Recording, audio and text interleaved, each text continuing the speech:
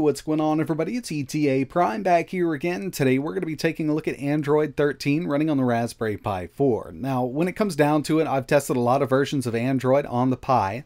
It's getting better and better, but this one here is pretty amazing. I mean, I've been getting really great performance out of this.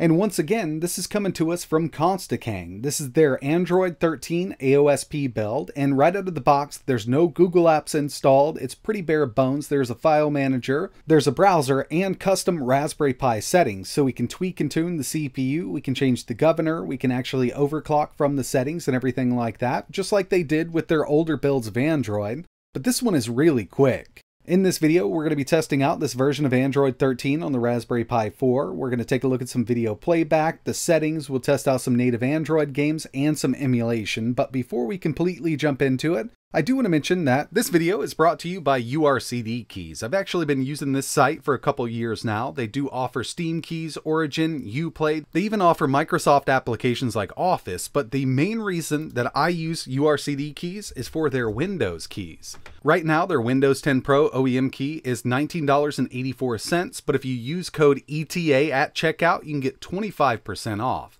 And another great thing about buying from here is they do accept PayPal. I just did this build here. I need to activate Windows. I'm going to head over to my updates and security. We're going to go to activation. As you can see, I've got Windows 10 Pro, but it's not activated. So I'm going to change product key. I'm going to paste it in here, choose next, choose activate, and Windows is now activated. We're ready to go. My warning is totally gone, and basically that's it. They'll email your code once your payment is processed, and that's basically it. If you're interested in picking up cheap Windows 10 keys for your new PC builds, I'll leave a link in the description. Okay, so with this build here, I have installed Google Play, and if you're interested in getting this up and running on your Raspberry Pi 4, I would highly recommend heading over to YouTube and check out Nova Spirit Tech's tutorial video. He shows you how to install this and get Google Play up and running on it. I thought about doing a tutorial, but I saw that he recently posted one, so definitely check it out if you want to get Android 13 running on your Raspberry Pi 4. So with this build here, we do have Vulkan support, we've got OpenGL. Basically, the only thing that's not working on this, which wasn't working on a lot of versions of Android, is hardware video decoding and encoding. You can use software, or you can go into the settings and enable the experimental feature, but personally, I haven't had much luck with it. Other than that, this has been really snappy. And keep in mind, as video encoding and decoding, you can still use that GPU for emulation and gaming. Alright, so let's head over to the settings real quick. I'll show you what we got going on here basic Android 13 settings, but if we head down to System, we do have a dedicated Raspberry Pi settings option. And from here, we can change the audio output. It's at 3.5 now, but I've got it plugged into HDMI. We've also got display resolution, display rotation. You can enable or disable a touch screen. It also works over USB. We've got the CPU clock from 1.5 gigahertz, which is going to be stock when you install this, up to 2 gigahertz. We've got the CPU governor. I've got mine at performance. ADB, and at the very bottom we do have that hardware video decoding. So this is very experimental, but like I mentioned, I haven't had much luck with it. I usually get a green screen when I'm trying to decode any kind of video. But even YouTube video playback on a software renderer does work really well up to 720p 60 FPS with this build. So here we are at YouTube, and I'll go ahead and reset all this, get it back to the beginning. I'll make sure that we're at 720p. 720p 60. We'll even go full screen with it. And we get some really good playback. Now going full screen on the Raspberry Pi can kind of bring it to its knees on other operating systems, at least in the past that I've seen. But full screen here with Android 13, 720p, 60 FPS, functions perfectly fine.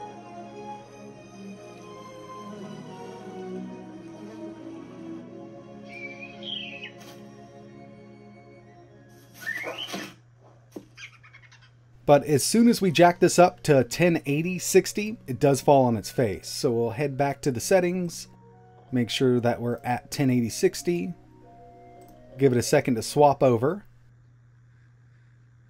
and you'll see exactly what I'm talking about here.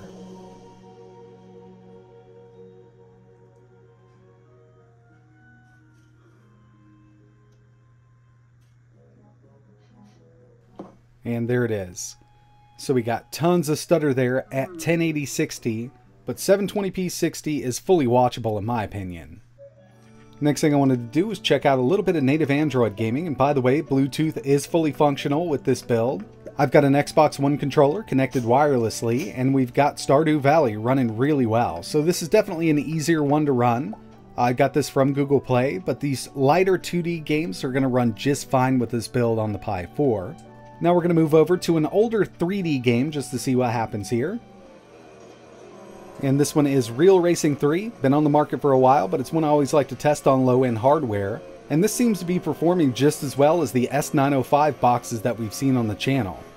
Now don't expect this to run PUBG and Call of Duty Mobile at full speed, but there's still going to be a lot of games that are fully playable on this, and the last one I wanted to test here was Dead Cells.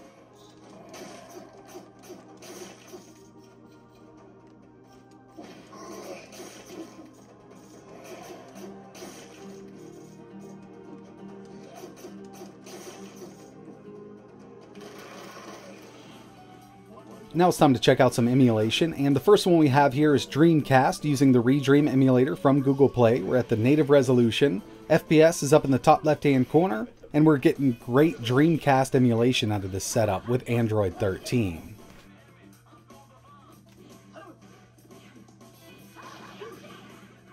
I also wanted to test out a little bit of PSP emulation. Tekken 6, 1x resolution, Vulkan backend, great performance. I mean, I haven't seen this dip under 60. I know it's a bit hard to see, but that FPS is up in the top right hand corner. This is a mid-range game to emulate, and I did test out Chains of Olympus, but that one you still need to turn frame skip on. I mean, that's just how it is with that game. And the final one we have here is PS2 using AetherSX2. So we're on the unsafe presets, Vulkan backend, and I've got this at 0.5 resolution. Now there are some more tweaks that we could do to get this to run a bit better, but in the end, this is actually an easy game to emulate, and as you can see, the Pi 4 just isn't putting out enough power for PS2 emulation. Now there might be some 2D games that work well with this emulator on this setup, but I wouldn't put this together specifically for PS2. But one thing that actually surprised me here was the cloud gaming performance. Now with this, you definitely want to be connected over Ethernet. We're going to be testing out Game Pass, so Xbox Cloud streaming. And uh, again, I've got an Xbox controller connected wirelessly to the Raspberry Pi. App loads up, everything's really responsive. And uh, I'll head over here to Forza Horizon 5. We'll start it up. And I was actually hoping it would jump right back in the game, but I must have shut it down. So we'll just skip right into a little bit of gameplay here. And overall, it's not bad. Obviously, it's not going to be perfect because it's cloud gaming, but this is working better than I've ever tested on the Raspberry Pi so far. I've gone through a few different operating systems trying to get at least Game Pass and GeForce Now up and running properly. And this performance increase could come down to Microsoft's side of things, you know, getting their servers up and running a little better. But it is working pretty well, as you can see here. So yeah, it's actually really awesome to see Android 13 running on the Raspberry Pi 4. Now you can always get this installed from an SD card, a USB drive, or a USB hard drive if you want to. And it's definitely worth giving it a try. It's actually a lot of fun to mess around with these new operating systems. So, you know, if you want to get this up and running, I'll leave a link to Konstakang's website in the description. And if you want to get Google Play installed, I'll leave a link to Nova Spirit Tech's YouTube channel. He's got that full tutorial over there. And if any new developments come up with the Raspberry Pi and Android, I will make another video. But that's going to wrap it up for this one. And like always, thanks for watching.